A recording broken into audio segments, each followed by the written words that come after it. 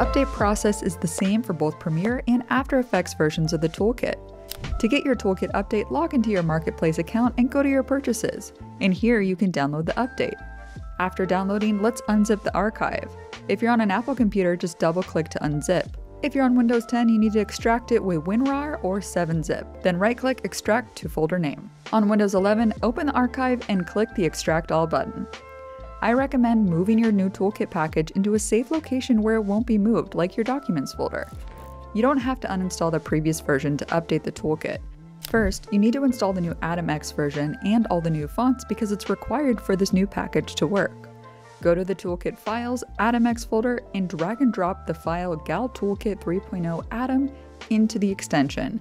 Choose a convenient installation method. I prefer do not copy as it keeps the toolkit files in the same location we moved it to, and it's faster. And now we're done. You'll notice that you didn't have to enter in a purchase code, but if you uninstall the toolkit before installing the new version, the extension will prompt you for your email and purchase code. Now you're all updated, and now you can delete the old version.